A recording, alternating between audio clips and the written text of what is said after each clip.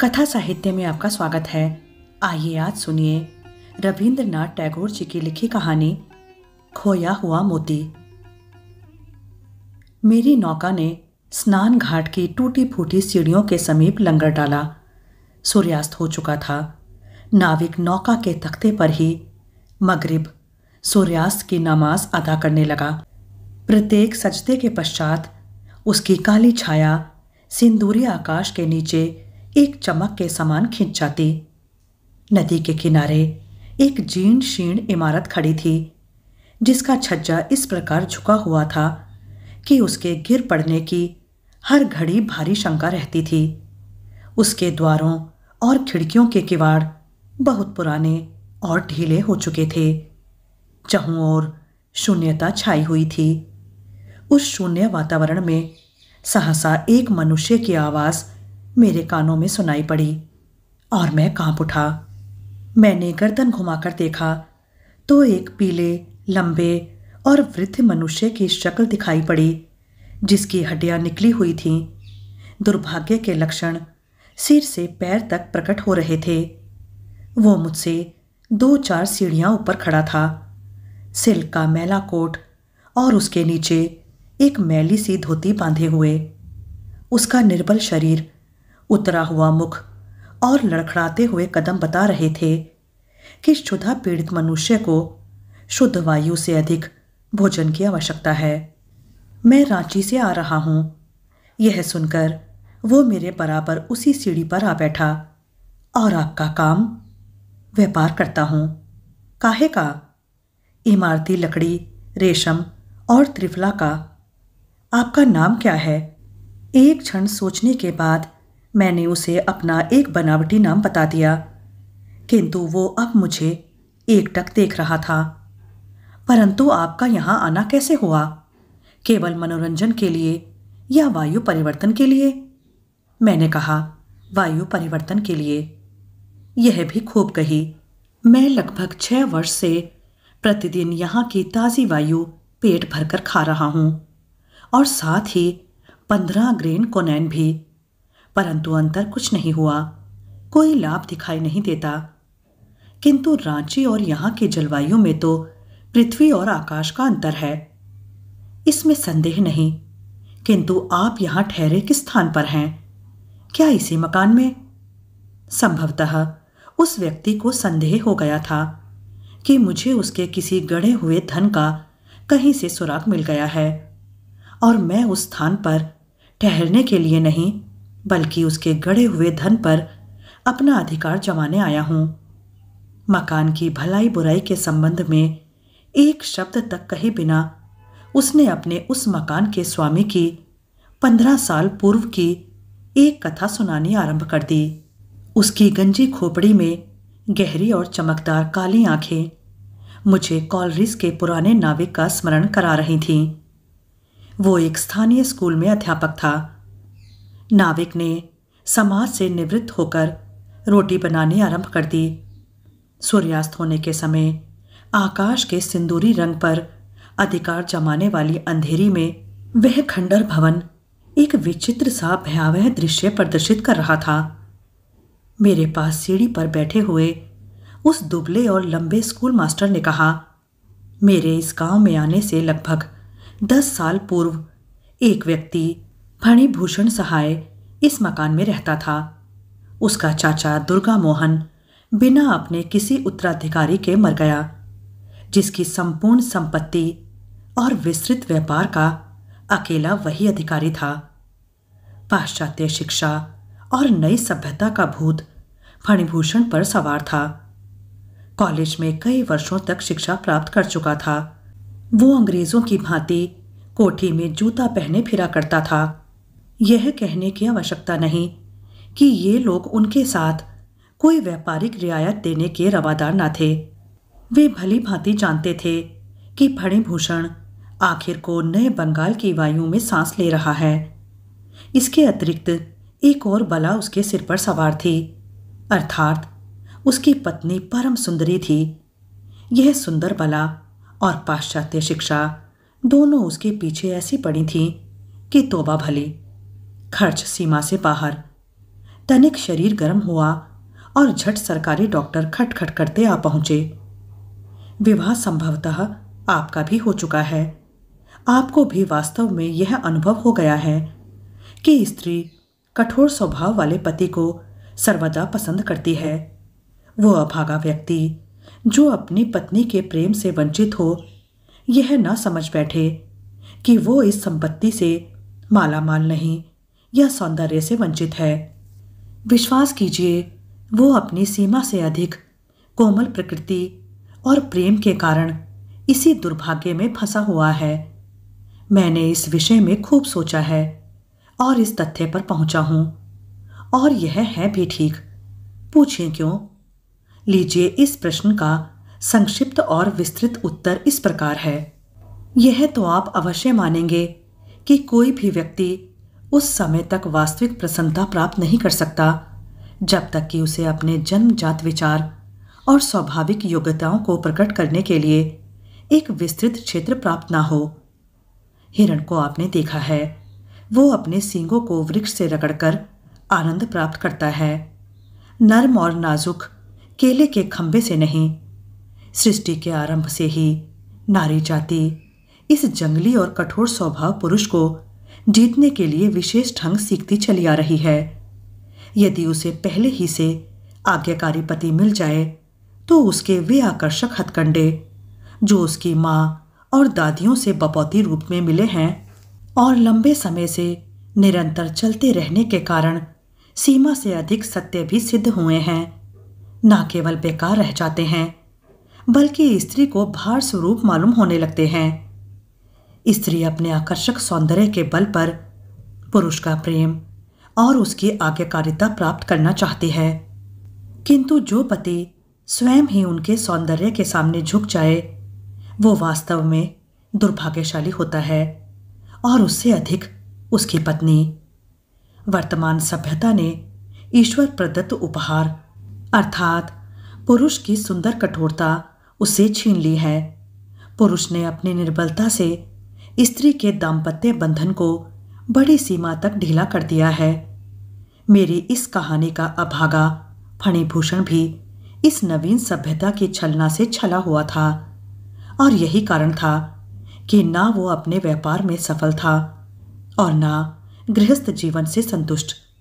यदि एक ओर वो अपने व्यापार में लाभ से बेखबर था तो दूसरी ओर अपनी पत्नी के पतित्व अधिकार से वंचित। फणिभूषण की पत्नी मणि मल्लिका को प्रेम और विलास सामग्री बेमांगे मिली थी।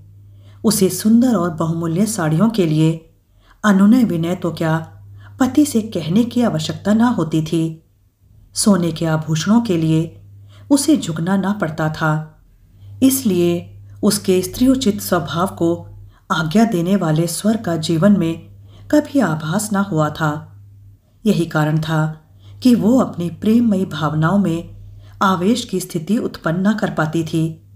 उसके कान लो स्वीकार करो के मधुर शब्दों से परिचित थे, किंतु उसके होंठ लाओ और दो से सर्वथा अपरिचित। उसके सीधे स्वभाव का पति इस मिथ्या भावना की कहावत से प्रसन्न था कि कर्म किए जाओ, फल की कामना मत करो। तुम्हारा परिश्रम कभी अकारत नहीं जाएगा। वो इसी मिथ्या भावना के पीछे हाथ पैर मारे जा रहा था। परिणाम यह हुआ कि उसकी पत्नी उसे ऐसी मशीन समझने लगी, जो बिना चलाए चलती है। स्वयं ही बिना कुछ कष्ट किए सुंदर साड़ियाँ और बहुमूल्य आभूषण बनाकर उसके कदमों पर डालती रहती। उसके पुर्जे इतने शक्तिशाली और टिकाऊ थे कि कभी भी उसको तेल देने की आवश्यकता न होती। फणिभूषण की जन्मभूमि और रहने का स्थान समीप ही एक देहात का गाँव था, किंतु उसके चाचा के व्यापार का मुख्य स्थान यही शहर था। इसी कारण उसकी आयु का अधिक भाग यही व्यतीत हुआ था। वैसे माँ मर चुकी थी, किंतु मौसी और मामिया आदि ईश्वर की कृपा से विद्यमान थीं, परंतु वो विवाह के बाद ही फ़ौरन मनी मालिका को अपने साथ ले आया। उसने विवाह अपने सुख के लिए किया था, न कि अपने संबंधियों की सेवा के लिए। पत्नी और उसके अधिकारों में पृथ्वी आकाश का अंतर है। पत्नी को प्राप्त कर लेना और फिर उसकी देखभाल करना, उसको अपना बनाने के लिए काफ़ी नहीं हुआ करता। मनी मालिका सोसाइटी की अधिक भक्त ना थी, इसलिए व्यर्थ का खर्च भी ना करती थी, बल्कि इसके प्रतिकूल, बड़ी सावधानी रखने वाली थी। जो उपहार, फणिभूषण उसको एक बार ला देता, फिर क्या मजाल कि उसको हवा भी लग जाए। वो सावधानी से सब रख दिया जाता। कभी ऐसा नहीं देखा गया कि किसी पड़ोसिन को उसने भोजन पर बुलाया हो। वो उपहार या भेंट लेने देने के पक्ष में भी ना थी। सबसे अधिक आश्चर्य की बात यह थी कि 24 साल की आयु में भी मणिमालिका चौदह वर्ष की सुंदर युवती दिखाई देती थी। ऐसा प्रतीत होता, मानो उसका रूप लावण्य केवल स्थायी ही नहीं, बल्कि चिरस्थायी रहने वाला है। मणिमालिका के पार्श्व में हृदय ना था, बर्फ़ का टुकड़ा था, जिस पर प्रेम की तनिक भी तपन ना पहुँची थी। फिर वह पिघलता क्यों, और उसका यौवन ढलता किस प्रकार? जो वृक्ष पत्तों से लदा होता है प्राय फल से वंचित रहता है। मणिमालिका का सौंदर्य भी फलहीन था। वो संतानहीन थी। रख रखाव और व्यक्तिगत देख रेख करती भी तो काहे की? उसका सारा ध्यान अपने आभूषणों पर ही केंद्रित था। संतान होती तो वसंत की मीठी मीठी धूप की भांति उसके बर्फ़ के हृदय को पिघलाती और वह निर्मल जल उसके दाम्पत्य जीवन के मुरझाए हुए वृक्ष को हरा कर देता।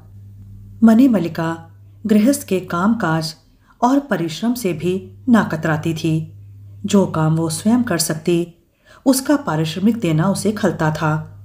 दूसरों के कष्ट का ना उसे ध्यान था और ना नाते रिश्तेदारों की चिंता। उसको अपने काम से काम था। इस शांत जीवन के कारण वो स्वस्थ और सुखी थी। ना कभी चिंता होती थी, ना कोई कष्ट। प्राय पति इसे संतोष तो क्या सौभाग्य समझेंगे? क्योंकि जो पत्नी हर समय फरमाइशें लेकर पति की छाती पर चढ़ती रहे, वो सारे गृहस्थ के लिए एक रोग सिद्ध होती है। कम से कम मेरी तो यही सम्मति है कि सीमा से बढ़ा हुआ प्रेम पत्नी के लिए संभवतः गौरव की बात हो, किंतु पति के लिए एक विपत्ति से कम। सोचिए तो सही कि क्या पुरुष का यही काम रह गया है? कि हर समय यही तोलता जोकता रहे कि उसकी पत्नी उसे कितना चाहती है? मेरा तो यह दृष्टिकोण है कि गृहस्थ का जीवन उस समय अच्छा व्यतीत होता है, जब पति अपना काम करे और पत्नी अपना। स्त्री का सौंदर्य और प्रेम, यानी तिरिया चरित्र, पुरुष की बुद्धि से परे की चीज़ है। किंतु स्त्री पुरुष के प्रेम के उतार चढ़ाव और उसके न्यूनाधिक अंतर को गंभीर दृष्टि से देखती रहती है। वो शब्दों के लहजे और छिपी हुई बात के अर्थ को झट अलग कर लेती है। इसका कारण केवल यह है कि जीवन के व्यापार में स्त्री की पूंजी केवल पुरुष का प्रेम है। यही उनके जीवन का एकमात्र सहारा है। यदि वो पुरुष की रुचि के वायु के प्रवाह को अपनी जीवन नैया के वितान से स्पर्श करने में सफल हो जाए तो विश्वस्तः नैयाभिप्राय के तट तक पहुँच जाती है। इसीलिए प्रेम का कल्पना यंत्र पुरुष के हृदय में नहीं, स्त्री के हृदय में लगाया गया है।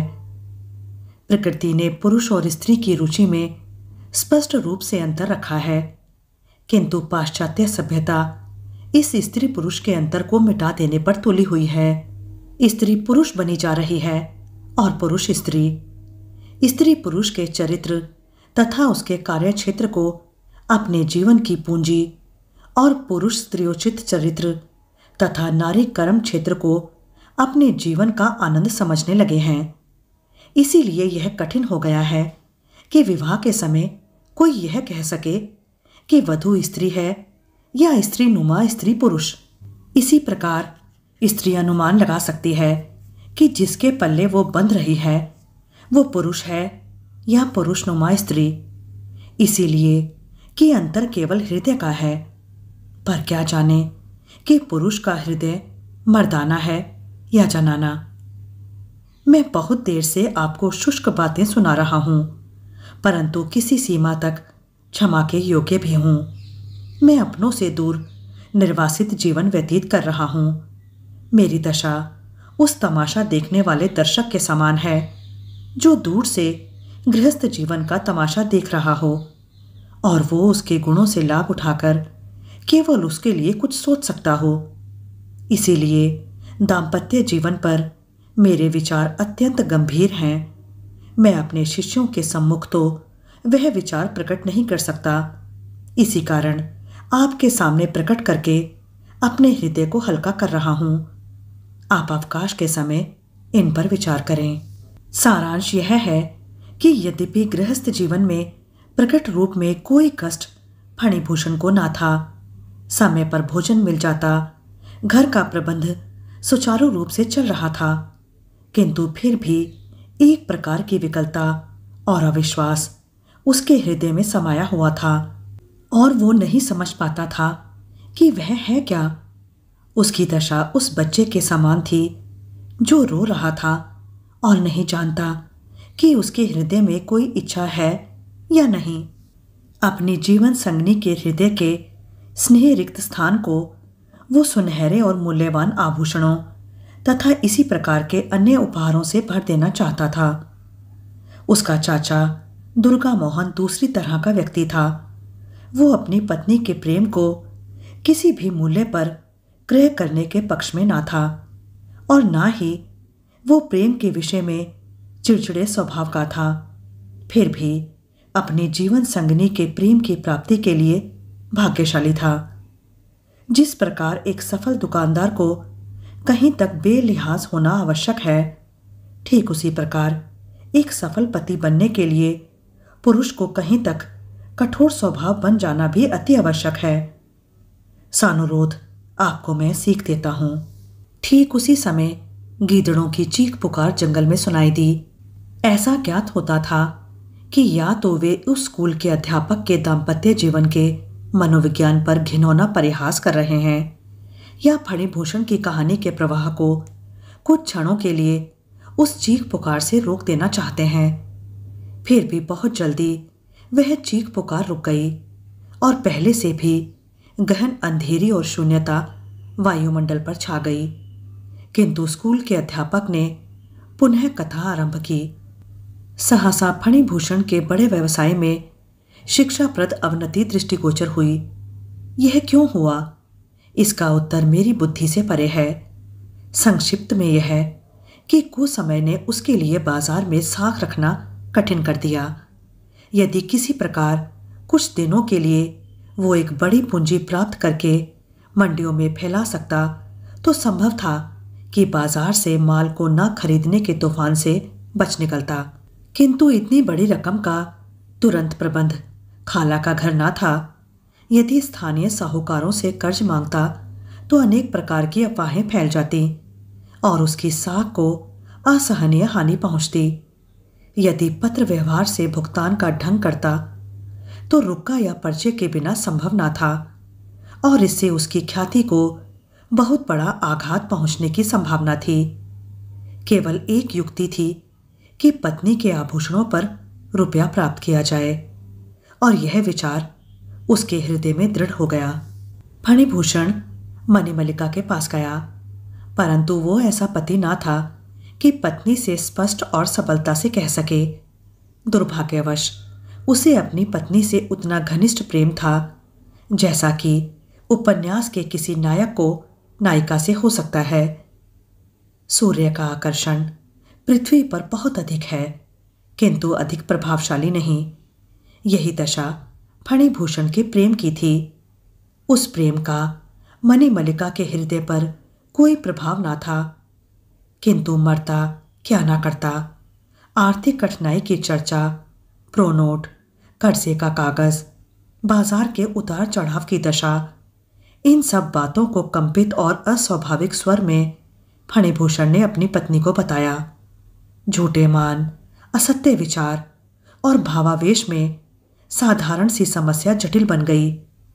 अस्पष्ट शब्दों में विषय की गंभीरता बताकर डरते डरते अभागे फणिभूषण ने कहा, तुम्हारे आभूषण मणिमल्लिका ने ना हाँ कही। और ना ना। और ना उसके मुख से कुछ ज्ञात होता था। उस पर गहरा मौन छाया हुआ था। फणिभूषण के हृदय को गहरा आघात पहुँचा। किंतु उसने प्रकट न होने दिया। उसमें पुरुषों का सा वह साहस ना था कि प्रत्येक वस्तु का वो प्रतिदिन निरीक्षण करता। उसके इनकार पर उसने किसी प्रकार की चिंता प्रदर्शित ना की। वो ऐसे विचारों का व्यक्ति था कि प्रेम के जगत में शक्ति और आधिक्य से काम नहीं चल सकता। इसलिए निराश होकर रुपए की प्राप्ति के लिए युक्तियाँ सोचकर कलकत्ता चला गया। पत्नी अपने पति को प्राय जानती है। उसकी नस नस से परिचित होती है। पर पति अपनी पत्नी के चारित्र्य का इतना गंभीर अध्ययन नहीं कर सकता। यदि पति कुछ गंभीर व्यक्ति हो तो पत्नी के चरित्र के कुछ भाग उसकी तीक्ष्ण दृष्टि से बचाकर जान लेता है। संभवतः यह सत्य है कि मनी मलिका ने फणिभूषण को अच्छी तरह ना समझा। एक पाश्चात्य व्यक्ति का व्यक्तित्व मूर्ख स्त्री के अंधविश्वास जैसे जीवन और उसकी समझ से प्राय ऊँचा होता है। वो स्वयं स्त्री की भांति एक रोमांचकारी व्यक्तित्व बनकर रह जाता है और इसी कारण पुरुष की उन दशाओं में से किसी में भी फणिभूषण को पूरी तरह सम्मिलित नहीं किया जा सकता। मूर्ख, अंधा, जंगली। मणि मलिका ने अपने बड़े सलाहकार मधुसूदन को बुलाया। ये दूर के रिश्ते से चचेरा भाई था और फणिभूषण के व्यापार में एक आसामी की देखरेख पर नियुक्त था। योग्यता के कारण नहीं, बल्कि रिश्तेदारी के ज़ोर पर वो उस आसामी पर अधिकार जमाए हुए था। काम की चतुराई के कारण नहीं बल्कि रिश्तेदारी की धौस में हर माह वेतन से भी अधिक रकम ले उठता था। मनी ने सारी राम कहानी उसके सामने वर्णन की और अंत में पूछा, क्या करूँ? नेक सलाह दो। मधु ने बुद्धिमता और दूरदर्शिता के ढंग से सिर हिलाकर कहा, मेरा माथा ठनकता है। इस मामले में कुशल दिखाई नहीं देती। फणिभूषण को रुपया तो मिलने से रहा। अंत में तुम्हें आभूषणों से भी हाथ धोने पड़ेंगे। सांसारिक समस्याओं और पुरुष तथा नारी के संबंध में जो मनी मलिका के अपने व्यक्तिगत विचार थे, उनके प्रकाश में मधु के निकाले हुए परिणाम का प्रथम भाग संभावित और दूसरा सत्य मालूम होता था। विश्वास उसके हृदय से जाता रहा था, संतान उसके थी ही नहीं, बाकी रहा पति। वो किसी गिनती में ही ना था। अतः उसका संपूर्ण ध्यान अपने आभूषणों पर केंद्रित था। इन्हीं से उसके हृदय की प्रसन्नता थी। ये ही उसको संतान के समान प्रिय थे। संतान को माँ से छीन लीजिए, फिर देखिए, ममता की क्या दशा होती है। यही दशा मणिमलिका की थी। उसका यह विचार था कि उसके आभूषण पति के मंसूबों की भेंट हो जाएँगे। फिर मुझे क्या करना चाहिए? अभी मैके चली जाओ। सारे आभूषण वहाँ छोड़ाओ। चालाक मधु ने कहा, इस प्रकार उसकी हांडी को भी बघार लगता है। यदि सारे नहीं तो कुछ आभूषण मधु को अपने हत्थे चढ़ने की भी आशा थी। मनी मल्लिका उसी समय सहमत हो गई। बढ़ते हुए अंधकार से स्कूल के अध्यापक पर भी गंभीरता छा गई थी। किंतु कुछ क्षणों के पश्चात उसने फिर वर्णन आरंभ किया। कहानी का पहला भाग यहीं तक। कहानी का दूसरा और अंतिम भाग आप अगले वीडियो में सुन सकते हैं। कथा साहित्य में इसी प्रकार अपना सुंदर साथ हमेशा बनाए रखिए। धन्यवाद।